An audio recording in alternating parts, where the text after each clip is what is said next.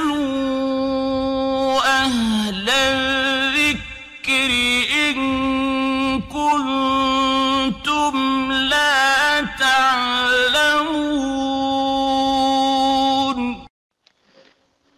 ওয়ালাইকুম আসসালাম রহমতুল্লাহ বারাকাত আমাদের একদিনই বোন জানতে চেয়েছেন যে যে সমস্ত জিকির আজগার রয়েছে সেগুলো সংখ্যা ভিত্তিক আমরা জানি পাঁচক্ত ফরজ সালাতের পরে আগে, পরে বা যে কোনো সময় সকাল সন্ধ্যায় সংখ্যা ভিত্তিক কিন্তু প্রশ্ন হচ্ছে যে মনের মন প্রশান্তির জন্য যে যদি আমি যেমন উল্লেখ করেছেন দোয়া ইউনুস বলে যেটা পরিচিত, লা ইলাহা ইল্লা আন্তা সুবহানাকা ইন্নী কুনতু মিনাজ জালিমিন এই দোয়া বা অন্যান্য দোয়াগুলো যদি নিজ মন প্রশান্তির জন্য কয়েকশো বার করে পড়া হয়, তাহলে কি কোনো সমস্যা হবে কিনা? এটা সম্পর্কে আপনি জানতে চেয়েছেন। যে না সম্মানিত বোন শরীয়তের একটা মূলনীতি আমাদের সবাইকে জানতে হবে। তা হলো, আল্লাহ রসুল সাল্লাহ সাল্লাম থেকে কোনো কোনো ইবাদত হচ্ছে সংখ্যা ভিত্তিক যেগুলো সংখ্যা নির্দিষ্ট করা রয়েছে। যেমন ছেলের ছেলের রাখিকা দেওয়ার সময় আল্লাহ আল্লাহ নবী সাল্লাহ আসলাম তিনি দুইটি বকরি ছাগল দিতেন। আর মেয়েদের জন্য একটি দিতেন। এবং তিনি বলে দিয়েছেন কথা। তো তারপরে আল্লাহ নবী সাল্লাহ সাল্লাম তিনি কোন কোন দোয়া রয়েছে যেগুলো সাতবারের কথা আছে। কোন কোন দোয়ার কথা তিনবারের কথা আছে। যেমন সুরা ইখলাস সম্পর্কে আল্লাহ নবী সাল্লাহ সাল্লাম বলছেন হিয়া সুলুসুল কোরআন সুলুসুল কোরআন। এই সুরা ইখলাস হচ্ছে কোরআনের এক তৃতীয় অংশ, বুখারির হাদিস। মানে আপনি একবার পড়লেই দশ পারার সমতুল্য সব পেয়ে যাবেন। মানে দশ পারা কোরআন তেলাওয়াত করার মতো সব আপনার হয়ে যাবে। তাহলে দেখা যাচ্ছে যে আমরা যদি গোটা কোরআনটা খতম করার সব নিতে চাই, তাহলে তিনবার পড়ে নিলে কি হবে? তিন দশ তিরিশ তিরিশ পারা কোরআন পড়ার সব আমরা পেয়ে যাব। কিন্তু এ নয় যে আপনার তিরিশ পারা কোরআন তিনবার ক্লাস পড়ে নিলেন, হয়ে গেল আর কোরআন পড়বেন না। না, এরকম না। এটা একটা মর্যাদা, এটা একটা ফজিলাত বর্ণনা করা হয়েছে মাত্র। হ্যাঁ তার অবশ্যই কোরআন পুরো কোরআন চোখে দেখে বা সে তেলাওয়াত করবে। কিন্তু এখলাসের একটা মর্যাদা সুরা ইখলাসের একটা মর্যাদা এবং তার একটা গুণগান গাওয়া হয়েছে এবং তার একটা ফজিলাত দিয়েছেন আল্লাহ নবী সাল্লাহ সাল্লাম যে দশ পাড়ার সমতুল্য সেটা পড়া। অবশ্যই আপনি তিনবার পড়লে দশ পাড়া তিরিশ পাড়া কোরআন পড়ার সোয়াব আল্লাহ আপনার দিয়ে দিবেন, এতে কোনো সন্দেহ নাই।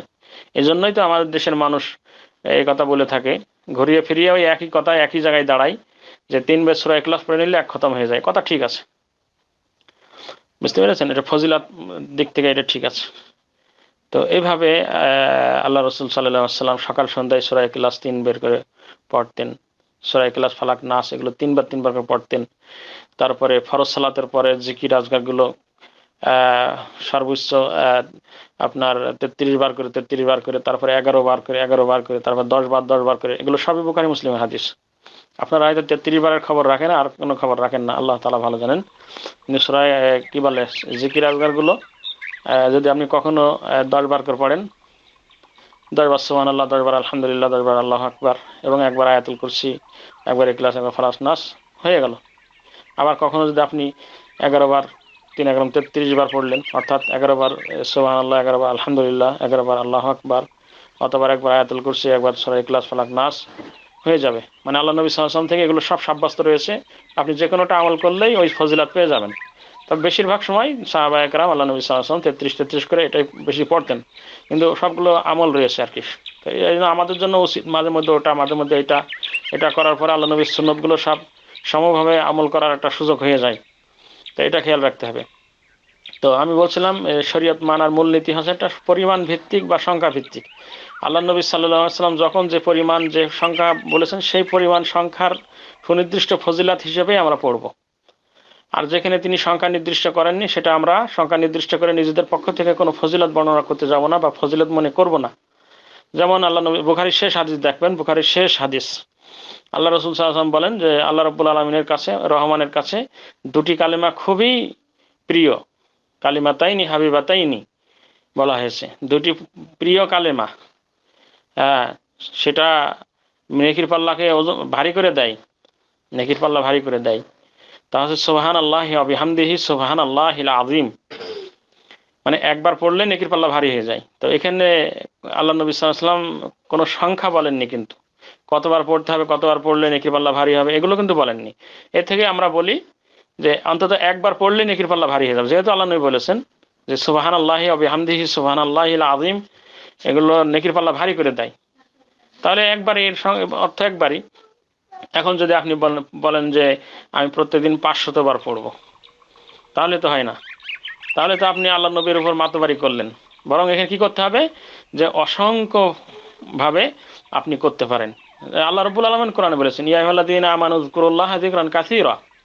ওহি তোমরা অধিক মাত্রায় অধিক মাত্রায় কাসিরা, অধিক সংখ্যায় জিকির করো, অধিক সংখ্যায়। মানে খুব জিকির করো। হ্যাঁ তাহলে যেগুলো আল্লাহ নবীর সংখ্যা নির্দিষ্ট, যেমন মুসলিম শরীফের হাদিস এসেছে তোমাদের কেউ যদি প্রতিদিন একশত বার সুবহান আল্লাহ অবিহামদি পড়ে হ্যাঁ তার পাপ রাশি মুছে ফেলা হবে।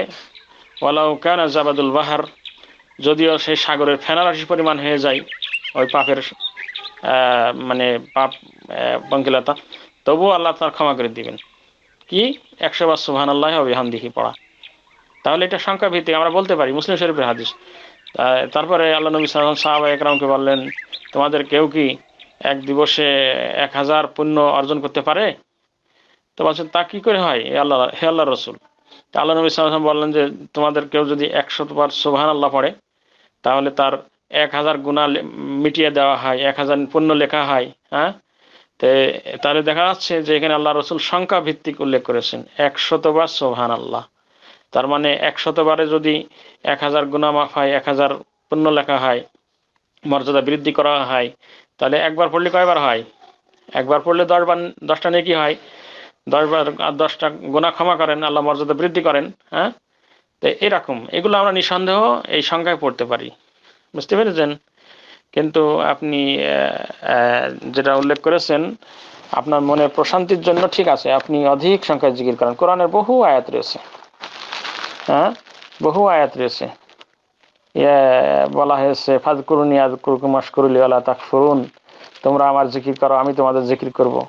এখানে আমি তোমাদের জিকির করব বলতে আমি তোমাদের স্মরণ করে। স্মরণ, জিকির মানে স্মরণ। জিকির মানে স্মরণ, আর আমি তোমাদের জিকির করব মানে আমি তোমাদের স্মরণ করব। হ্যাঁ আর তোমরা আমার কৃতজ্ঞ আদায় করো। আমার সাথে আমার নিয়ামতের কুফুরি করিও না, নিয়ামতের সাথে কুফুরি করিও না। জিকির সম্পর্কে অনেক আয়াত রয়েছে অনেক হাদিস রয়েছে। তো এখন আপনি রাতে বা দিনে বা হাটে হাটে মানে হাঁটতে ঘুরতে চলতে ফিরতে রান্না রান্নাঘরের যেখানে সেখানে আপনি জিকির আজগার করবেন যেগুলো সংখ্যা ভিত্তিক যে সংখ্যাগুলো আমি উল্লেখ করলাম। তারপরে সুরাই ক্লাস সম্পর্কে আপনাদের শোনালাম। কোরআন তেলত করাটাও জিকির। ইন্না নাহনু নাজ্জালনা যিকরা ওয়া ইন্না লাহুল আহ, আমি জিকির অবতীর্ণ করেছি আর এই জিকির সংরক্ষণকারী আমি নিজেই। তার মানে কোরআনকে জিকির বলা হয়েছে। অনুরূপভাবে সলাৎ। সলাৎকেও সবচেয়ে বড় জিকির বলা হয়েছে। হ্যাঁ ওয়াকিমুসলাহ ইন্না সলাত তানহা আনিল ফাহশা ইয়াল মুনকার ওলা জিক্রুল্লাহি আকবার। তোমরা নামাজ অতি উত্তমভাবে আদায় করো, নামাজ কায়েম করো অবশ্যই নামাজে অশ্লীল গরহিত কাজ থেকে বাঁচিয়ে রাখে। তো এখানে ওলা জিক্রুল্লাহি আকবার, আর নামাজ আছে সবচেয়ে বড় জিকির। নামাজটাও জিকির। তো এই জিকির একটা বিরাট ইবাদত। যারা জিকির করে, আল্লাহ রব্বুল আলমিন তাদের স্মরণ রাখে। আর যারা জিকির করে না, আল্লাহ রব্বুল আলমিন তাদের উপর নিয়োজিত করে একটা শয়তান। আর এই শয়তান তার বন্ধু হয়ে যায়। এটা সুরা জুকরূপে আছে, দেখে নেবেন। তো এখন আপনি এগুলো করতে পারেন। যে যে জিকিরটা আপনি বললেন, ইউনুস আলাইহিসাল্লাম তিনি মাছের পেট থেকে ওই জিকিরটা করেছিলেন। সোনানে তিরমিজিতে হাদিস এসেছে যে, ওই জিকিরটা যে ব্যক্তি করবে, আল্লাহ রাব্বুল আলমিন তার মুসিবত তার থেকে সরিয়ে দিবেন। জাবিন হয়ে যাবেন তার মুসিবতের ক্ষেত্রে। তো এই জন্য আমরা ওটা আমল করতে পারি। যে কোনো জিকির, আপনি সুবাহান আল্লাহ কখনো পড়ছেন, কখনো আলহামদুলিল্লাহ পড়ছেন, কখনো লা ইলাহা ইল্লাল্লাহ পড়ছেন, কখনো লা হাউলা লা কুওয়াতা ইল্লা বিল্লাহ পড়ছেন কখনো আস্তাগফিরুল্লাহ পড়ছেন, কখনো সুবাহান আল্লাহি অবিহামদিহি পড়ছেন কখনো সুবাহান আল্লাহিল আজিম পড়ছেন, এভাবে জিকির আজগারগুলো করবেন। আপনার আমল নামে নেকি হতেই থাকবেন। আপনি বুঝতে পারবেন না যে কেমন দিবসে কত নেকি আপনার জড়ো হয়েছে। এভাবে আপনার নিজের পক্ষ থেকে একশো বার, দুশো বার পড়ে সেটাকে নির্দিষ্ট ফজিলত বর্ণনা করতে পারবেন না। এটা বেদাত হবে। বুঝতে পেরেছেন? তো এমনি যদি আপনি মনে করেন যে আমি সংখ্যা নির্দিষ্ট করব না বা করলেও আমি তার কোনো ফজিলত বর্ণনা করব না। আপনি এমনি করবেন, তাও করতে পারেন, সমস্যা নাই। বুঝতে পারেন কখনো ভাববেন না যে আল্লাহ নবী একশো বার পড়লে এই কথা বলেছেন, দুইশো বার পড়লে এই সব রয়েছে? না, আপনার ওই, ওইভাবে পড়তে হবে, আরামভাবে পড়তে হবে, সাধারণভাবে। অসংখ্য হয়ে যাবে, তাও আপনার কোনো সমস্যা, গণনা কোনো দরকারই নেই। হাতের আঙ্গুলি গণনা করে যেগুলো পড়তে বলা হয়েছে, সেগুলো তো শুনলেন, সুনির্দিষ্ট করে একশো বার সুমান আল্লাহ পড়তে যে আপনি হাতের কর গুনবেন, তেত্রিশ বার পড়তে যে দশ বার পড়তে যে এগারো বার পড়তে যে এগুলো আপনি করতে পারেন। জি, সম্মানিত বোন বিষয়টা অনেক লম্বা হয়ে গেল। আপনাদের বোঝানোর জন্য এই বিষয়গুলো তুলে ধরলাম। আল্লাহ তালা আমাদের সবাইকে জিকির আজগার, সুন্নতি জিকির আজগার করার তৌফিক দান করুন।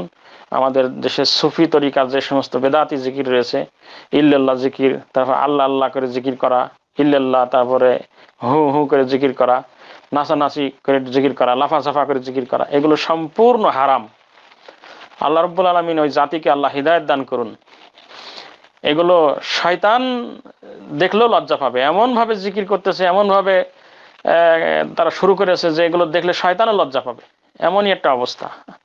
তো আমরা আল্লাহর কাছে দোয়া করব, আল্লাহ যেন তাদেরকে হৃদায়ত দান করেন। ওরা হৃদায়ত থেকে অনেক দূরে অনেক দূরে।